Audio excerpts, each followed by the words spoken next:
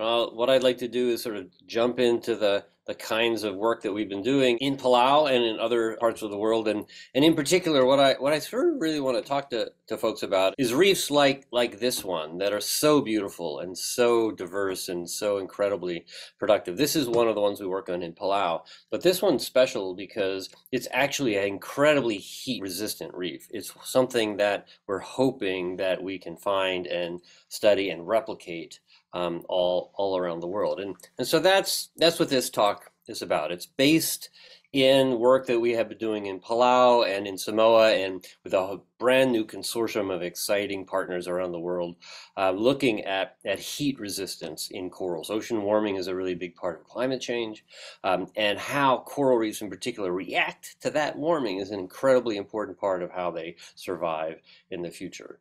Uh, so this is just some of the footage from the, the lab in um, Palau, the Palau International Coral Reef Center where we just were until, until till Monday uh, with a group of Stanford undergraduates.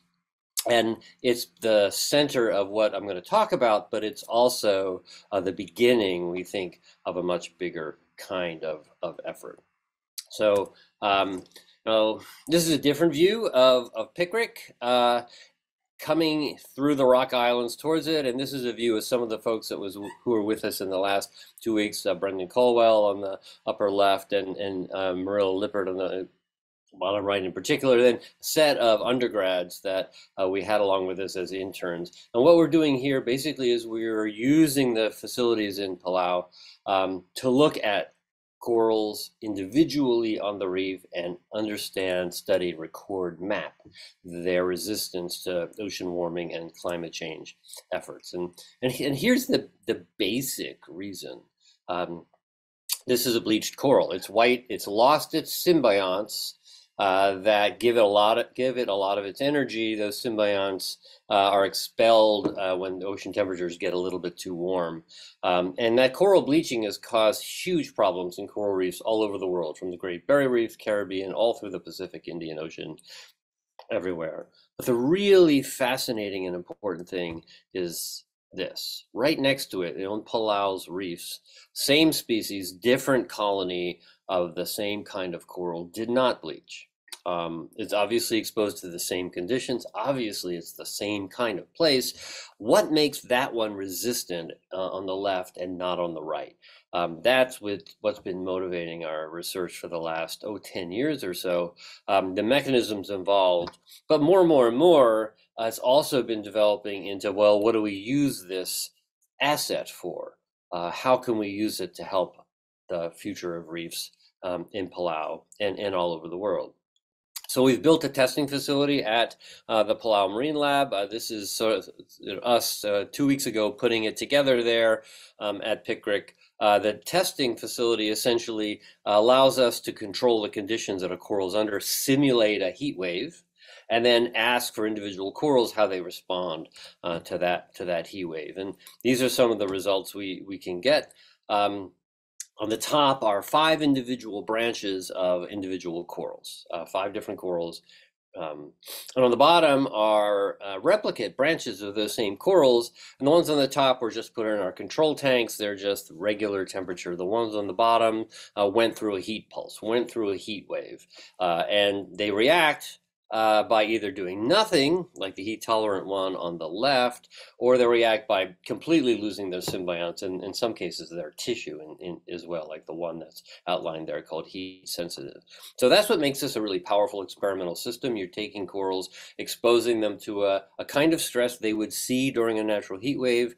Uh, you're doing it in an experimental, controlled, comparative way and the results uh, can be compiled and you can find uh, heat sensitive corals, but we're re really looking for the heat tolerant one. Um, so kind of skip ahead a few years and, and many reefs and many, many, many, many, many corals tested. And all these red dots on this map of Palau are locations where we have found and recorded heat uh, resistant corals all throughout Palau, we can find them. Uh, so the good news there is that they're pretty common. Uh, they're widespread. Um, Yet there are some places in Palau that have a much higher level of this heat resistance than than others. In particular, we can focus on this sort of zoom in on this area right in the sort of center on the, the left, the western the western coast. That's outlined in red here. Uh, we call them the 20s because these reefs are numbered uh, 23 to uh, to 27. And, and then in this little graph is the fraction of colonies in each of the areas outlined in this blue, uh, these blue or red or purple uh, lines um, the fraction that have shown heat resistance. So we have two major areas, the, but by far the largest concentration of heat resistant corals is in this region, the, the Aimeliik reefs. It's in the Aimeliik state in Palau. Um, they're super reefs. They're reefs where there are a lot of heat resistant corals, and they are one of the foci of our research um, at this at this point. Um, we're also basically looking beyond just uh, well, the one species that was in this last uh, the last figure. Um, this is just us booming out to, to a different sort of reef environment. Um, what we did over the last two weeks was to look at a set of different species. The basic simple question was, are the results from um, the one species that we had looked at before? They're replicable across uh, these different species. Um, and I promised the interns I'd show you data that they collected over the last two weeks. And so these are some of the, the bleaching results from five species. Um, the higher the bar, the, the more heat sensitive they are, the more bleaching they happen in our standard tanks. And the red bars are northern lagoon reef, control reef that has pretty much a lot of bleaching, and then these Aimeliik super reef sites are in the blue. And what you can see across these five species, three of them are stronger in the Aimeliik reef sites. Um, two of them are, are about are, a little bit stronger actually um, outside the Aimeliik site. But uh, the essentially the more heat sensitive colonies, the ones that are more sensitive to climate change and heat waves, they're much stronger in these Aimeliik super reef sites because the bar is lower, there's less bleaching in those colonies than, than the others. Uh, so that gives us pretty good confidence that uh, A, we've found a good super reef location, the Aimeliik reefs, that it applies to um, at least uh, a suite of species that are there, um, and that they and other concentrations of heat-resistant corals like them, uh, you know, are good candidates for our our scrutiny. Uh, just to give you an idea where they are, we're going to zoom into those Aimeliik reef sites. This is sort of dropping in on Google Earth toward these these patch reefs in in Palau in the back reef lagoon in this area uh, on the western side of of the island. Um, but it, we wanted to do really more than that uh, because you know you you really only uh, love what you know and you really only want to protect what you love sort of the famous John Muir statement and these are the reefs of Aimeliik this is one of the patch reefs here uh, this is our small collecting boat that came from PICRC and that uh, we basically positioned it over the reef. That's sort of us going out, um, surveying the corals that we've mapped and marked. What you find when you jump into these areas is, is an incredible diversity, an incredible life of corals in this, in this area. So remember, these are heat resistant reefs. Um, many of the species that you're seeing, actually most of the species you're seeing right now, we've tested uh, to and, and, can show are very heat resistant. Um, we see lots of fish, we see lots of different corals, we see lots of different types of diversity. That, that really is the hallmark of how coral reefs are, are functioning in the world, the kinds of things that drive uh, tourist density, the kinds of things that build reefs to protect shorelines, the kinds of of corals that, that attract fish for um, for fisheries and for livelihoods. So uh, so we've been showing these pictures around Palau and in other areas just to give people an idea of what they might be protecting if they were protecting these these super reefs. So um, I've just moved really quickly through these ideas of, of heat resistance and how to find them in our mapping studies. And I've left out a lot of the genetics we do in the physiology and um, and the ecological mapping because I really want to come down to these kind of questions. Uh, what can you do with these these heat resistant uh, corals. It's one thing to find them, but we're really focused on the, the, the practicality of knowing where they are. Um, and so you can do, you know, two major things. One of them is to use them to restore reefs uh, with heat-resistant colonies because, you know, you know where they are.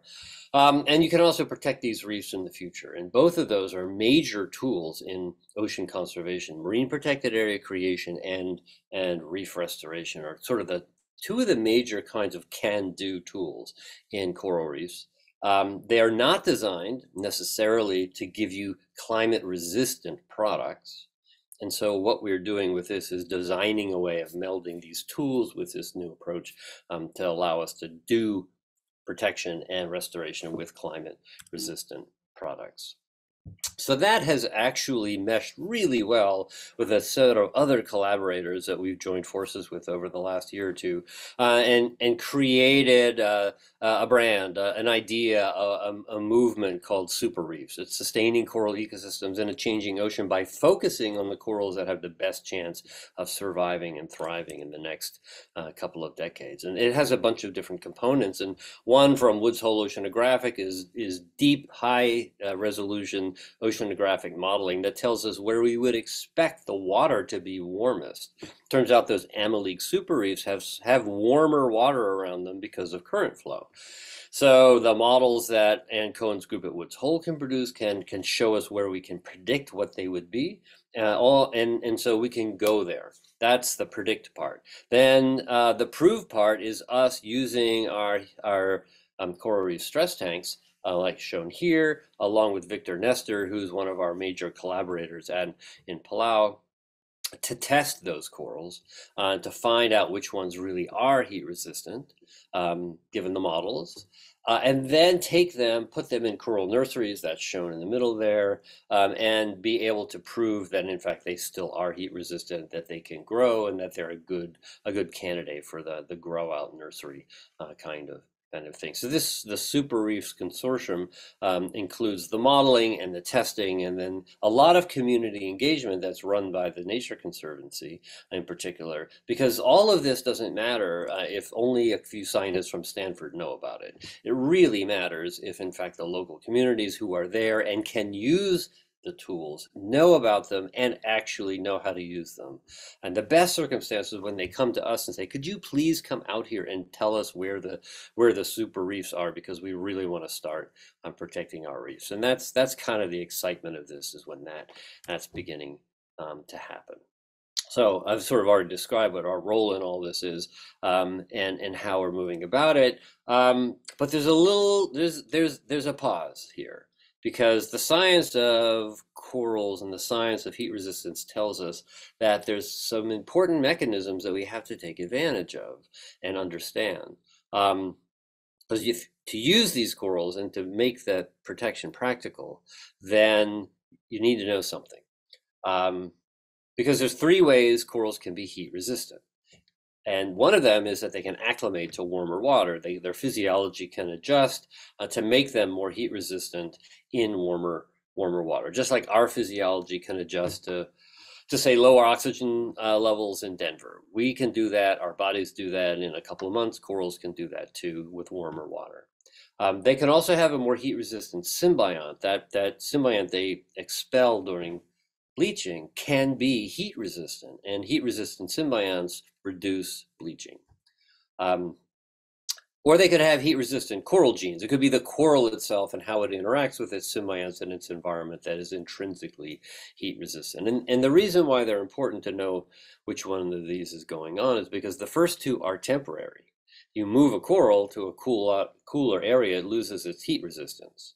If you move a coral to a cooler area, it will generally lose its heat resistant symbiont and pick up a heat, um, heat sensitive symbiont. Um, it's only the heat resistant coral genes that actually are a permanent heat resistance. And so that durable heat resistance is really important to what we're trying to do. And that's the thing we have to try to understand from a scientific basis. So we sort of ran our heads around that issue to say, well, how are we going to basically separate these? There's lots of very complicated ways of doing it, but we came back to a really simple kind of experimental procedure that that's known in forestry, it's known in agriculture, it's called a common garden experiment. Grow things together and the differences between them after they've grown together are really intrinsic and durable parts of what it is that they, they do. So we started making very small uh, experimental nurseries. Uh, this is Victor uh, shown with our really highly sophisticated way of putting in the rebar necessary um, to, to set up coral nurseries. We are all involved in this at some point, basically down there pounding the rebar into the reef. Um, the good thing about it though is that it's, it's very inexpensive to do and it can be done almost almost anywhere. And what happens uh, when we're done, um, we have panels that we can attach with cable ties to the reefs, the corals that are growing in the nursery attached to the panels. This is this is one of our uh, undergrad interns who was really a fabulous photographer, just basically taking shots of some of our common garden experiments. And then on the right, upper right, Katrina Armstrong, who hopefully has uh, in the webinar, um, who's been in uh, really a, a fabulously uh, great point uh, researcher in establishing all these. Um, we can basically then uh, set up these tests, uh, can grow them up and show a, a, which ones are successful, but also which ones remain um, heat resistant. I, I, I, just can't help showing you this because these are very successful ways of growing corals um, this is one rack that we put out about a year and a half ago, showing it to you in October last year, and then two weeks ago in July, um, what it was what it was like there. These corals are basically um, growing incredibly well. They're ready to be put back on the reef if that's what that's what someone decided that that's what they they wanted to do. Now, COVID hit because uh, we set up these experiments a year and a half ago, two years ago, uh, we're all ready to go. We couldn't go back to Palau um, because of, of COVID. And yeah, we still have researchers and students there from the Palau Community College. And so we started doing a, a, a, whole process of online remote mentoring. This is Victor. During one of our many COVID talks, we would talk two, three, four times a week about the experiments and how to do them, where to get them. And what we discovered was that because of um, because of Zoom and WhatsApp in particular, we could really be in close touch with the researchers in the in the field. Once they knew what what how to use the equipment, um, we could troubleshoot. We could help them design the experiments. We could we could walk through that with them. And and Victor and his students there did over 1,800 experiments um, during COVID on the the racks that Katrina and all of us set out. Uh, and it, it showed us that, in fact, it was quite possible to have this work done, not just by us, but by a consortium of people in, in real life places all over the world. Um, we found out uh, the things that we were trying, trying to.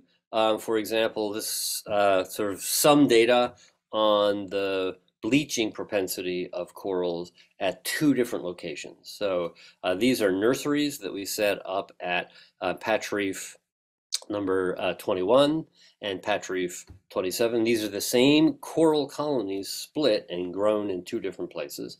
And what's shown here are the visual bleaching scores uh, for these corals after um, after Victor ran his experiments and um, transmitted us the, the, the results. And a low bleaching score means that it didn't really bleach. One means no bleaching. Five means total bleaching.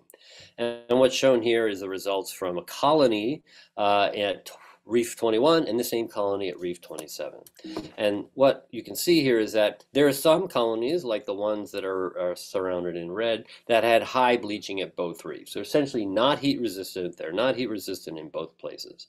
Um, whereas the ones in green are the low bleaching colonies. They have no or just visible bleaching um, at both reefs, meaning that in these two different environments, they, they show high levels of uh, heat resistance. And it, it shows us that these colonies are the ones that we would be focusing on if we were going to do a restoration project. We would say, well, these, uh, in this case, seven dots represent seven different colonies that have durable heat resistance. Then we can move forward with with using them. So we've got lots of data like this. This just gives you an idea how we collect the data and how we sort how we sort through it.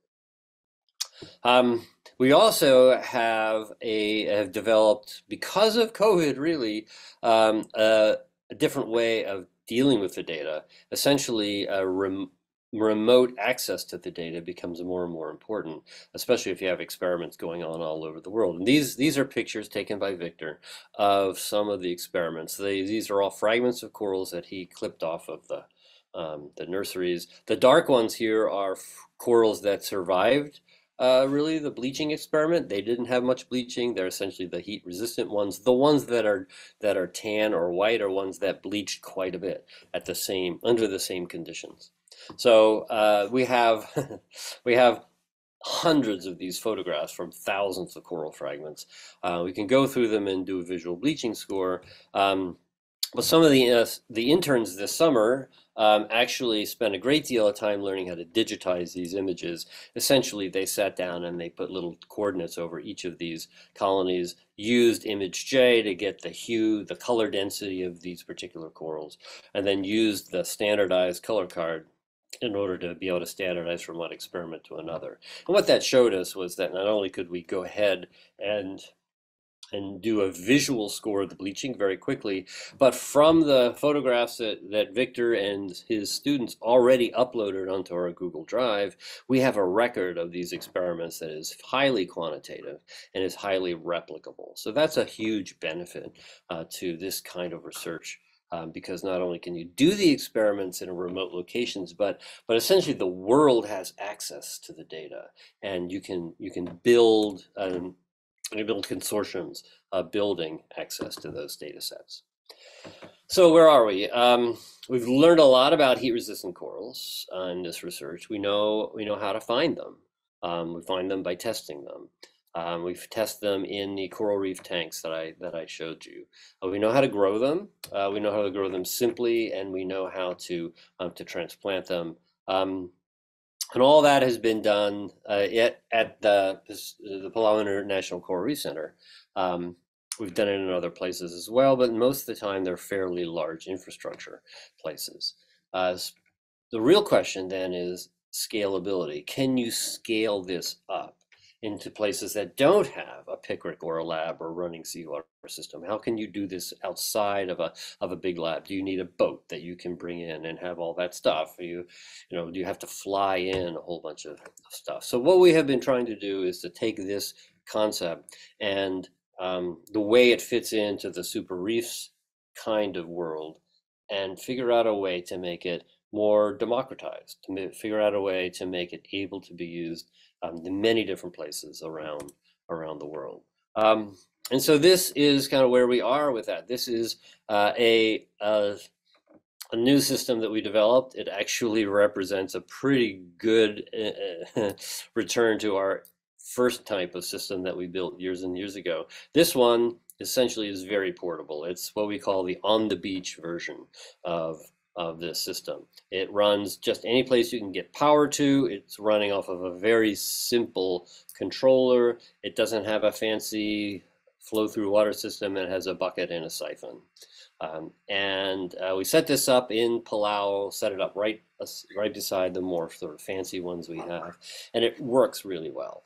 Um, it, it takes more care. You have to be there you know, kind of managing it. You can't walk away from it like we can walk away from our computer controlled ones.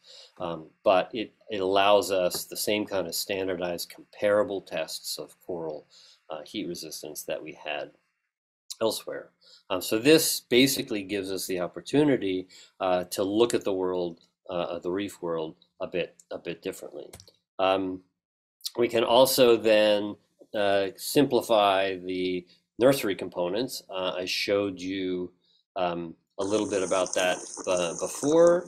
Um, I'll cut that down. Uh, this is just some of the video of some of the, the reef racks that we put in in some of the uh, some of the reefs. Essentially, they are made out of rebar, cable ties, a plastic mesh, uh, and corals that are that are either cable tied or, or cemented down to it. So uh, construction materials that are very common in the tropical world. They cost about a, maybe $2 per rack.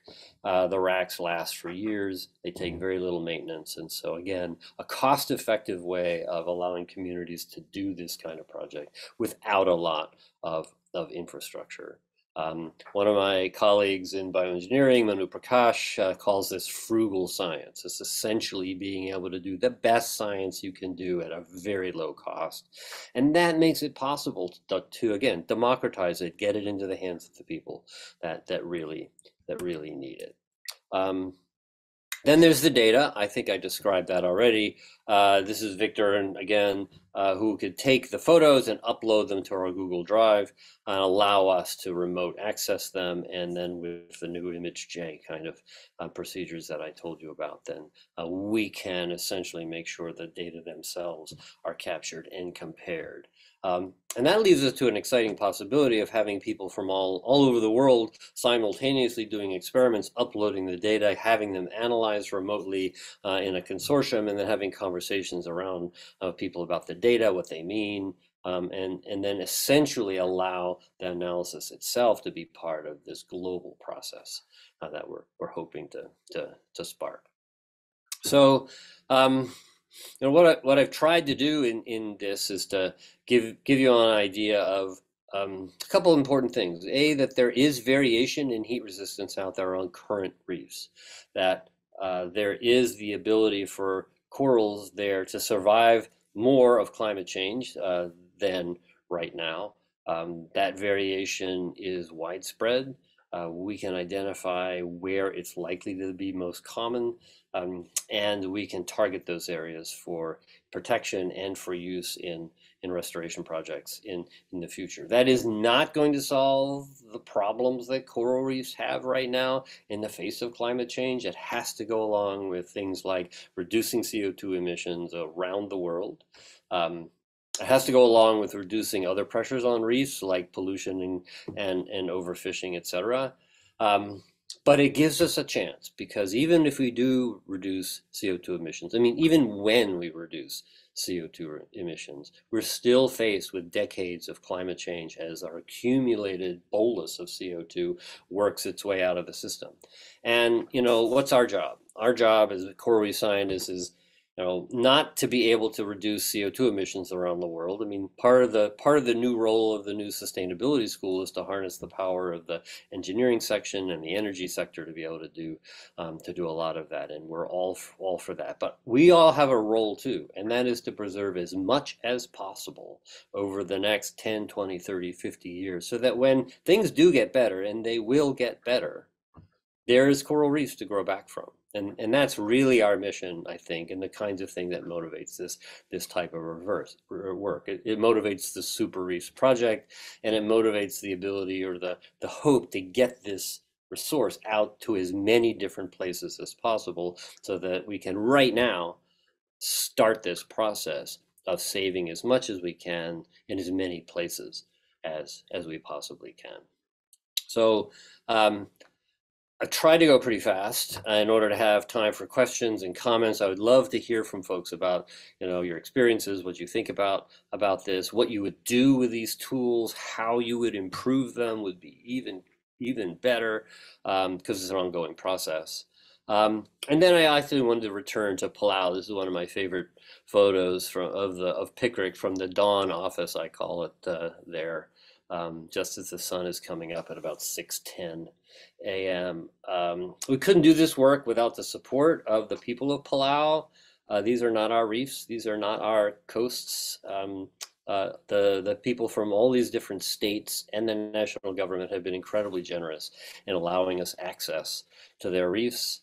Uh, we've worked with uh, Victor and students at the Palau Community College, um, not only to train them in what it is that we can teach, but also learn from them about their history and the kinds of way that their culture uses those reefs. So we feel really fortunate about having these partners that allow us to, to not only study and learn, but hopefully return something as well. And um, even though PICRC is, you know, a great lab, one of the most advanced and you know well-equipped labs in, in all of the Western Pacific, um, what we're hoping to do is be able to do this in other places and return this kind of science and community together uh, into action, um, not only in, in Palau, but places all, all over the world. So that's what I kind of wanted to tee up and, and talk about. Um, so I'll sort of turn this back over to Ria uh, and then uh, we'll go from there. So thank you so, so much. Thank you, Steve, for that incredible presentation. Um, I'm going to jump right into questions. We have plenty of them. Uh, we have a question from Karen that says, as you move heat resistant corals to reefs that have been bleached to restore those reefs, how do you avoid the potential problem of introducing invasive species that are detrimental to the rest of the receiving reef's ecosystem? Cool. That is such a great question. And it's a really important one. Um, and, and the answer is that what you want to do is do any of this very locally. So, for example, when we move corals around, we have moved them at most about 10 miles in Palau, just within the same lagoon. And um, coral reef biologists that we uh, we surveyed in a in a program that I, I ran for the National Academies of Science, um, we we we asked that question. And and for for others, what the problem is, what, what the what the question is all about, is that when you move a coral, you are moving the coral, but everything else that's living in that coral, and it's thousands of things. It's thousands of microbes. It's little worms. It's algae within the colony itself. It's stuff that is burrowed into the skeleton. And if you move it, you're risking the community you're moving that into um, because they that community might not have any defenses against a really invasive alga or a big invasive microbe. Um, so we ask coral reef biologists, you know, around the world, okay, what do you, you know, is this a problem? Yes, everyone says it's a problem. So is it a problem if you move a coral a mile or kilometer? We did. Uh, it's like no. Suppose you move them a thousand kilometers. Everyone says yes. You, that's a huge problem. And so we kind of came back. How about ten miles? Mm, yeah, that's probably okay. Or ten kilometers. How about a hundred kilometers? And then people started getting worried about it. So um, the the question is exactly on track. Keeping it local is the answer, and that's why our on the beach reef tanks really are the solution because you can't do this work, say in Palau, and then apply it to an atoll, say. Um, Yap is 800 miles away, and then fly your heat resistant corals to Yap. No, no, no, no. Cannot do that. You have to go to Yap and actually do it there. We have a question here from Adam. Does ocean acidification play a role here along with the heat? Yeah, Adam, it does. Um, ocean acidification, by reducing um, the sort of the pH, causes coral growth to slow, causes coral calcification to be more energetically more costly, and so um, the corals themselves are a little bit more fragile and a little bit slower. But that, so that is a problem. And um, frankly, if we don't get a handle on CO2 emissions over the next century, CO2 levels are going to reach to the point where virtually all corals will be hugely affected by that problem. But it's not a problem right now. It's not killing corals right now. Bleaching is killing corals right now. And so uh, our, our first effort is to basically solve the bleaching problem because that is going to be a problem even if we get a, a handle on CO2 emissions. It's going to be a problem for decades. And then hope that by the process of us solving the CO2 problem, that uh, the acidification won't raise its ugly head. But you're, you're, you're completely right. There are cases of people worried about the, the combination being a little bit more deadly. That is, acidification is more a problem when the oceans are warmer. And, you know, people are looking looking into that as well. But our our kind of focus is really triage on the, the key thing that is really killing them right now. Yeah. Um, we have a question from Wayne. Um, he has a trip scheduled to the Great Barrier Reef in January. He's wondering if it's still dying or have conditions improved. Well, Wayne, you should still go to the Great Barrier Reef, right? a, um, by all means. Uh, no, it is not still dying. The the reef problem that they had came in a, a double whammy kind of set of years uh, 2016 and 17, which were global coral bleaching years. Um, and the Great Barrier Reef has been one of the areas that has been monitored uh, to a huge degree. So we know a lot about how bleaching has affected um, the Great Barrier Reef, and whole in, in large areas were. Recovery is ongoing there because reefs do recover from uh, from these. And in fact, some of my colleagues there in Australia at the Australian Institute of Marine Science have been trying to document whether or not the natural process of of um, survival of heat resistant corals is leading to the, the, a natural process of sort of revival of reefs with those particular corals. Um, they're also in a process of doing just what I've described in terms of trying to learn how to replant uh, heat resistant corals and, and all of that. So um, if you look at the Great Barrier Reef uh, Foundation website, you will find the current data on coral cover in the on the Great Barrier Reef. And you'll find that in 2020, 2021, that coral cover is starting to come back up again after the, the bleaching from before. And the areas I know, people that have been the Great Barrier Reef since then, um, it's utterly enjoyable and utterly fascinating. Um, you know, maybe if you had gone 100 years ago, it would have probably been a little bit more fascinating. um, but part of the value in coral reefs right now is that we still have a lot and it's really an ecosystem we're saving. We have a question from D. Paul. Do you have any thoughts on what conditions might be leading to the heat resistant strains? Oh yeah, thanks Dee. The um, I think it's because these corals uh, live in a highly variable environment, and there are some places that are warmer and more extreme than others. Uh, for example, at a low tide, in the middle of the day in these Palau reefs, uh, we have the thermal sensor recorders that can record the temperature. And you see this huge bump in temperature. It's usually 30 degrees. It might go up to 35, 36, even 37 degrees um, in these areas just for the day. And our coral reef tanks are designed to mimic those, those pulses. So um, those areas are filters. They allow corals that have the capacity to be heat resistant to live there, and uh, and and they don't allow too many of the corals that are heat sensitive to live there. And with them and within the population itself, there's a lot of genetic diversity for that trait. So what you have is this case of Darwinian selection.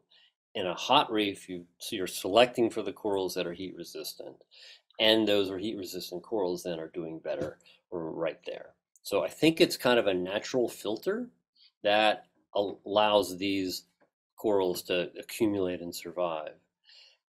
And what I find, you know, pretty encouraging is that we've found that everywhere. Everywhere we have looked, we have found places that have these higher levels of heat-resistant corals, and that's that's what kind of gives me the zoom to to to to look for them at other places, um, to be part of this Super Reef consortium, and then um, try to use this these tools all in every different setting we can um, to identify those places.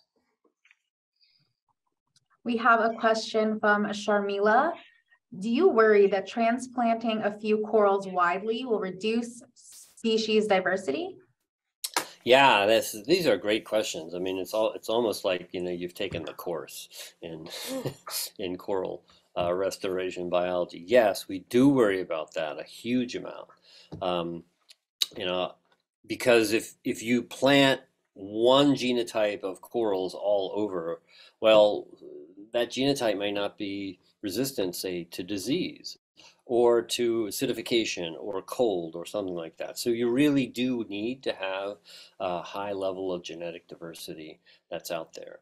And that's why we went pretty broadly to look for heat resistant corals in lots of different areas to see what the inventory was.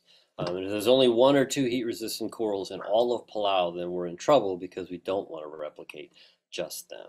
But if we replicate a, a, wide variety of them, then we not only have that trait, but we build in the genetic diversity that's a resource for the future. Because we really don't know what the next problem is going to be. We really don't know some of the downsides of heat resistance in some corals. So we have to play it safe. And, and one way to do that is to keep the genetic diversity up. The, the other aspect of that was the species diversity. And we tend to work on one species in particular because it's very common and it grows quickly. but our our movement towards multiple species basically multiplies the problem by whatever you know five or a ten or or a hundredfold.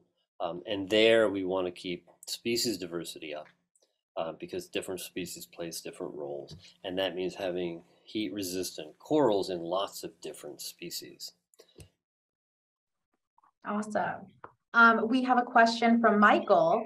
Are you finding significant quantities of heat resistant corals on the Great Barrier Reef, the Maldives, etc., or is Palau unique? Palau is not unique as far as we can tell. Um, colleagues of mine have been working on the Great Barrier Reef and discovering um, heat resistant corals there. In fact, they have they have a system very similar to the one that I showed you. Uh, it's it's based on a ship. They drive it around the Great Barrier Reef and test corals. Um, and are, are finding heat resistant corals that way.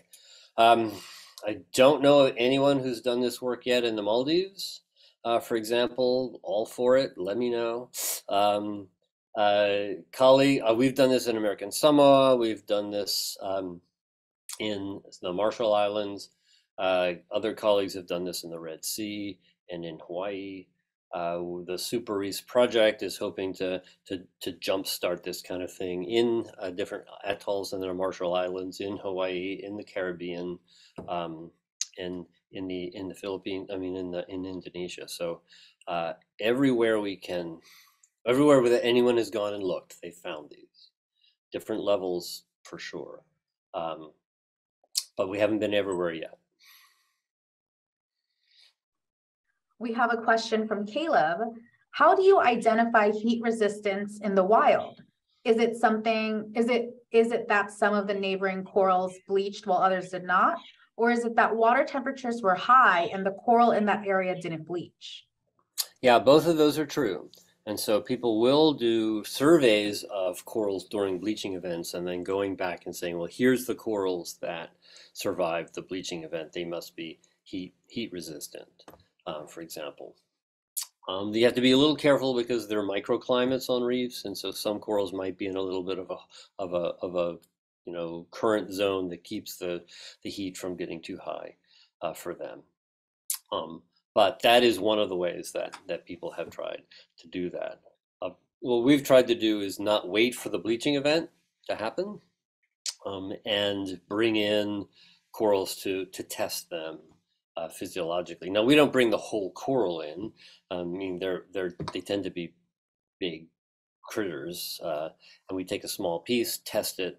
Uh, all the corals that we have worked on are tagged, and we know the GPS coordinates, so we can go back to them and uh, and find out who who they are. Um, we actually have done the full genomes of about 290 of them. And so we know a lot about the genetics of these colonies, how it changes from place to place and time to time. Uh, we've even found coral cousins, know, really closely related corals that are, for the first time, as far as I know, anywhere in the world, we found corals that are closely related by either sharing, by being cousins. Um, actually, we have a few half sibs um, that, that we found. Um, and that I don't know what that means, but just it, it just makes me smile.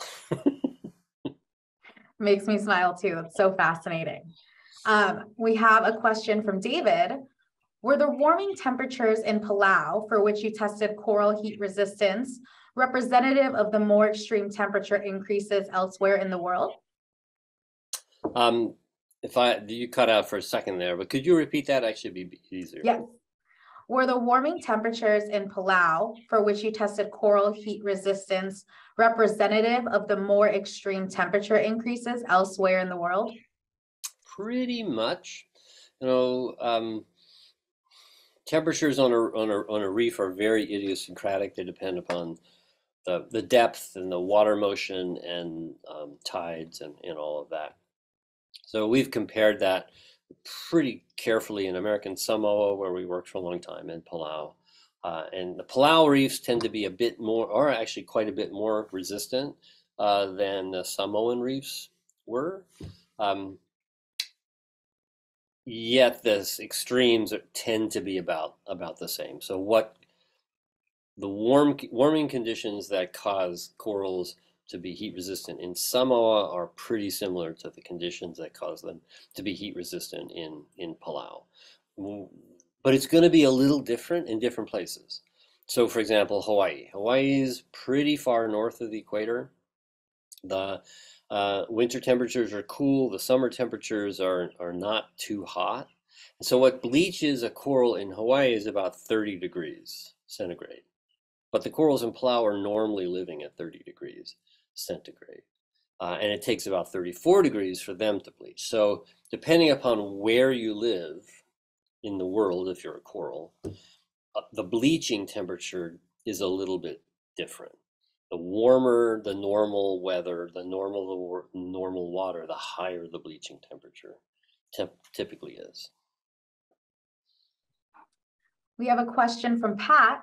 Uh, they have read about projects to transplant heat resistant corals to areas where coral reefs are dying. What are the pluses and minuses of doing this? Great. I mean, the the, the pluses, of course, are that you're expanding the range of these heat-resistant corals, and that and that uh, you're you're potentially increasing the places that that they can grow. Um, just knowing what you just said, if I only knew that, the minuses are I don't know what killed those corals. So if what killed them is still there, there's no point in me putting any more in there because they're just going to die of that instead. Um, I also don't know just from that um, uh, how far away it is, and so what the problems are with with the, the translocation and the invasion stuff that we talked about about earlier.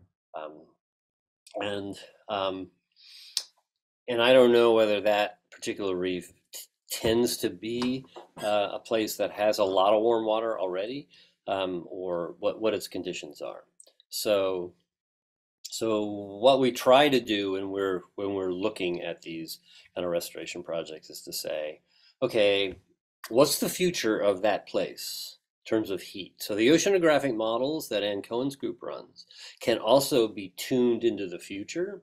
And so if we can say, okay, if we're going to do a restoration project here, is this going to turn into like some boiling cauldron of hot water in in 19 in 2050? Maybe that's not a good spot.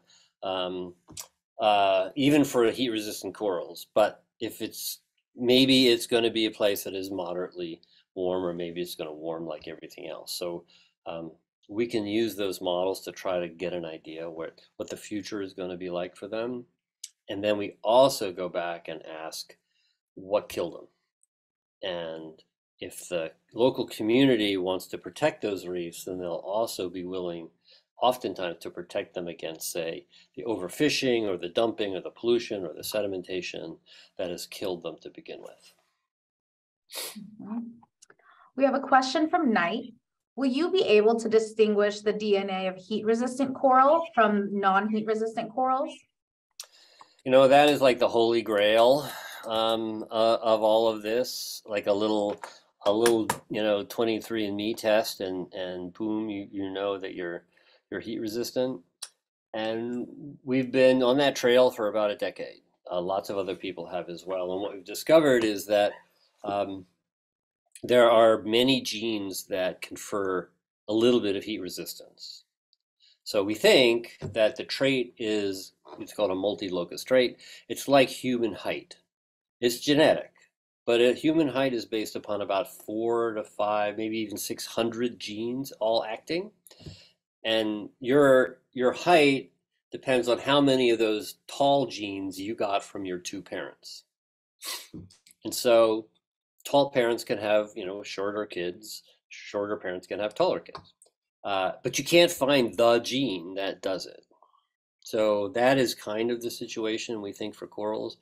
Then you have to you have to add to that the fact we're not talking about one one species but dozens or you know 50 species and there's no way there's going to all be the same genetics for that so there's some genes we know are really important and we're kind of following that see what we know um, but so far we haven't come up with a single genetic test that can say this is a heat tolerant coral um,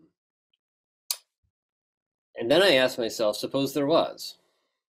Now, if I could do that test right in situ, if I could get a sample of a coral and do the test right there, then that might help. But if I have to take the sample and get the DNA and send it to the lab and get them to do it and send it back, by the time that happens, I can use my tanks and I can find out. So, you know, that's that's kind of where we are with this is like, you know, trying to balance the different levels of technology to get the best answer the fastest. Awesome. We have a question from Mar- Marilda. Um, she's they are an avid recreational scuba diver, recently retired, and have traveled globally to dive. What can we do to help? And are there any coral preservation centers that need volunteers? Great, great question. Um, I think one of the things to help is to keep diving, keep going around the world, and keep keep enjoying it. Keep telling people, keep keep being involved in in how these communities actually are thriving. Um, if you can, you know, be a little bold and go into sort of the, the more re remote areas where, um, you know, it's it, local people doing dive, you know, doing dives and dive industries to sort of see what it's like to be to live in a small atoll someplace or or just be there uh, for for a bit. Um, Stanford alumni have a great cruise of Micronesia, for example, that can can let you dive in you know ten different atolls in in Micronesia. Um, the the other thing is to honestly, you know, keep up the conversation that CO2 emission has got to stop, and that that is the future of all of us. And along the way, efforts to keep things going are really important not just coral reefs, but forests, grasslands, you know, the tropical rainforests, seagrass beds, everywhere is facing the same sort of thing. So all of us realizing that we have a role in protecting as much as possible into the future. Uh, so we can grow back and so our kids and grandkids can enjoy it. You know, that that's all part of our like that should be part of our our lives. We have time for a, few, a couple more questions. Uh, we have a question from Marilyn. If you are able to repopulate other areas with the heat resistant coral, how does that affect the life that lives on those corals? Can the life exist in the area where the heat resistant coral be placed to continue to live and be compatible with the imported coral? Yeah, again, or this is this is a great question It's kind of based on uh, the answer is kind of based upon it all being local. Um, and that because it's local and because you haven't moved them very far, the same kind of fish and invertebrate communities that would be on those corals in one place will be there for the other place. So, you know, in Palau are two kinds of reefs, the, the Aimeliik super reefs and then the northern reefs that are different. They're only seven miles from one another. So the, the community of fish is the same. They're all available for, for all those things. Um, then the other thing is the species diversity. If you just planted one kind of coral,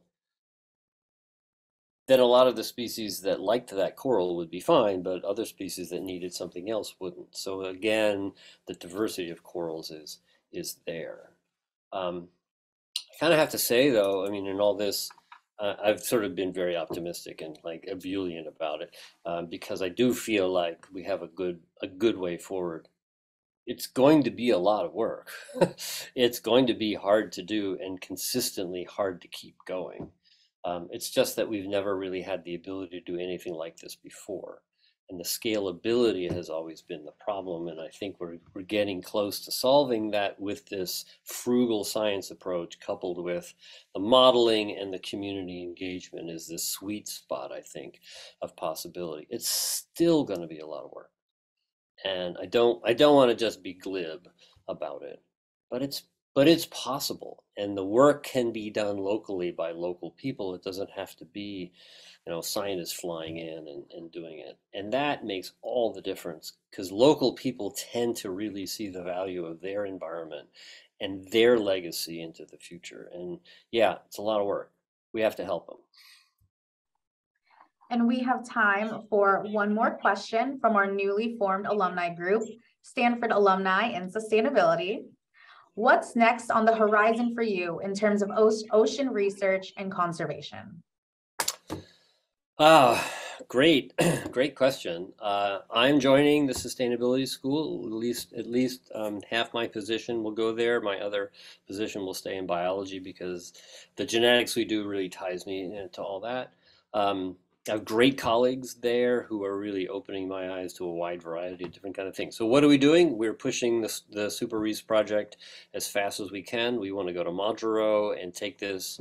Uh, the folks in Palau are now asking us to take the on the beach tanks and spread them out, bring them to different communities and let those communities do the test, which I think is essentially fabulous and, and really anxious to do. Um, we have interest in taking the Super Reefs projects to the Caribbean, to Hawaii, to, to Indonesia.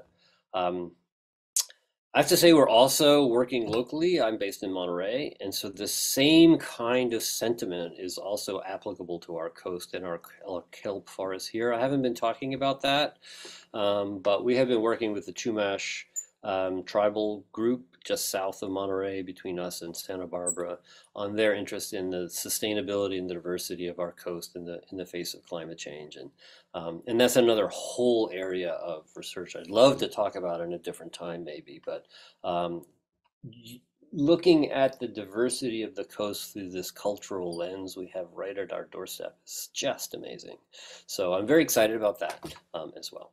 Thank you so much, Steve. We really appreciate all your insight, your presentation, and answering so many questions. If you're curious about more learning opportunities, be sure to check out our upcoming events on our SAA Learn webpage.